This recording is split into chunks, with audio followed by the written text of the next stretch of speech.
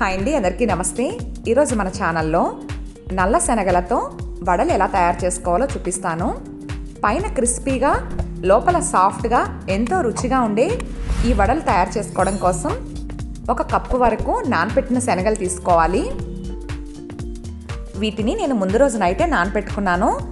బాగా నానిన తర్వాత రెండు మూడు సార్లు శుభ్రంగా కడిగి తీసుకుని ఇప్పుడు గ్రైండ్ చేసుకోవడం కోసం మిక్సీ జార్లో వేసుకోవాలి. శనగలు ఎక్కువగా ఉన్నట్టయితే టూ త్రీ బ్యాచెస్గా గ్రైండ్ చేసుకోండి. నేను తక్కువ క్వాంటిటీలోనే తీసుకున్నాను కనుక ఒకేసారి గ్రైండ్ చేసుకుంటున్నాను. ఇలా నేను తీసుకున్న శనగలన్నీ మిక్సీ జార్లో వేసుకున్నాను. ఇప్పుడు ఐదారు వెల్లుల్లి రెమ్మలు వేసుకోవాలి. అలాగే వన్ ఇంచ్ అల్లం ముక్క వేసుకుని ఒక నాలుగు పచ్చిమిరపకాయలు వేసి కొద్దిగా కరివేపాకు వేసుకుని వన్ టేబుల్ స్పూన్ జీలకర్ర వేసుకోవాలి. అవసరం మేరకు కొద్దిగా వాటర్ వేసుకుని మిక్సీ జార్ మూత పెట్టి కచ్చా పచ్చగా గ్రైండ్ చేసుకోవాలి. మరి మెత్తగా కాకుండా కాస్త పలుకు ఉండేలా గ్రైండ్ చేసుకోవాలి. ఫ్రెండ్స్ చూడండి ఇలా ఈ కన్సిస్టెన్సీలో ఉండాలి. గ్రైండ్ చేసేటప్పుడు అవసరం మేరకు కొద్దిగా వాటర్ మాత్రమే వేసుకోండి. వాటర్ ఎక్కువైతే పిండి పలచబడిపోతుంది. ఇప్పుడు ఇందులో కొద్దిగా కట్ చేసిన కొత్తిమీర కట్ చేసి పెట్టుకున్న ఉల్లిపాయ ముక్కలు వేసుకుని రుచికి తగినంత సాల్ట్ వేసుకోవాలి. అలాగే హాఫ్ స్పూన్ పసుపు వేసి ఒక స్పూన్ కారం వేసుకోవాలి. అలాగే వన్ టేబుల్ స్పూన్ ధనియాల పొడి వేసుకుని ఇవన్నీ కలిసేలా బాగా మిక్స్ చేసుకోవాలి.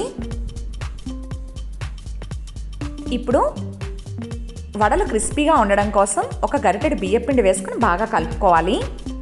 సాఫ్ట్గా వడలు ఉండాలి అంటే బియ్యపిండిని వేసుకొని అవసరం లేదండి. ఇది పూర్తిగా ఆప్షనల్.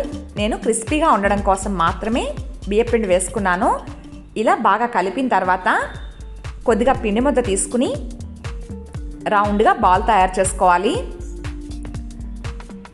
ఈ విధంగా చేసిన తర్వాత రెండు అరచేతి మధ్యలో వేసుకుని కాస్త గట్టిగా ప్రెస్ చేస్తే చక్కగా వడలు వస్తాయి.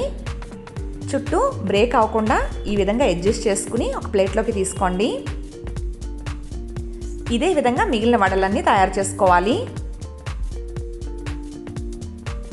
వడలు చేసేటప్పుడు మరీ పలచగా కాకుండా కాస్త మందంగా ఉండేలా ఒత్తుకోండి. చూసారు కదా? ఇలా ఈ మాత్రం మందంగా ఉండాలి. ఇలా వడలన్నీ తయారు చేసుకుని ఇప్పుడు వీటిని వేయించుకోవడం కోసం డీప్ ఫ్రైకి సరిపడా ఆయిల్ పెట్టి ఆయిల్ కాగిన తర్వాత మనం తయారు చేసి పెట్టుకున్న వడల్ని ఒక్కొక్కటిగా ఆయిల్లో వేసుకుని కాసేపు వేగనివ్వాలి. అవి కాస్త వేగిన తర్వాత రెండో వైపుకి టర్న్ చేసుకుని రెండు వైపులా గోల్డెన్ కలర్ వచ్చేంత వరకు బాగా వేయించుకోవాలి. ఇవి వేయించేటప్పుడు మంటను హై ఫ్లేమ్లో కాకుండా మీడియం హీట్లో పెట్టుకోండి. అప్పుడే అన్నీ ఒకేలా వేగుతాయి.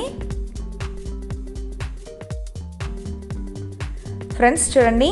ఇవైతే వేగిపోయాయి. ఇలా గోల్డెన్ కలర్ వచ్చిన తర్వాత ఒక స్ట్రైనర్తో ఆయిల్ నుంచి బయటకు తీసుకుని కాస్త పక్కగా పెట్టి ఆయిల్ వాడిన తర్వాత ఒక ప్లేట్లోకి తీసుకోవాలి.